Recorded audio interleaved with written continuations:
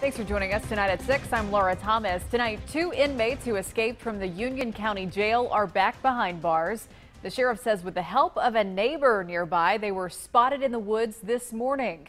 Deputies caught Ashley Tyler and Kenneth Lipsey Jr. this morning around 9 near Wages Road along Buffalo Creek. A judge in Union County denied bond on a new charge for escape. This is video from Tyler's hearing this afternoon. 7 News reporter Christine Brown is live at the Spartanburg County Detention Center with more on their future. Christine? Laura, after a lengthy search, the Union County Sheriff's Office says that it is a big relief to have these two men back in jail tonight. And the plan now, they say, is to get them to a higher security facility here at the Spartanburg County Jail.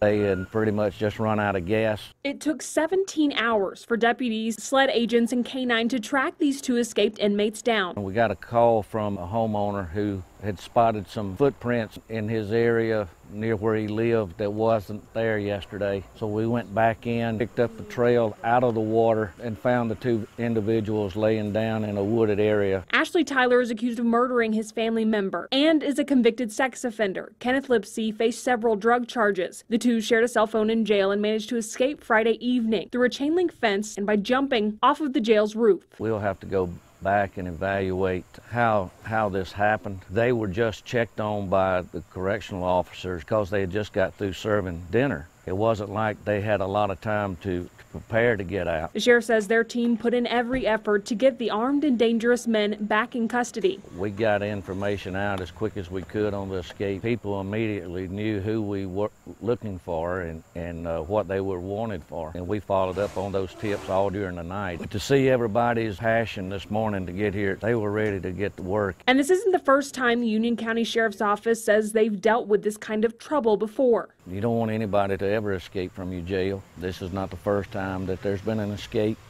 uh, from this facility. The sheriff himself says the jail is not up to standards and that he plans on addressing those problems soon. There's some security flaws in our in our facility and we need to get those corrected.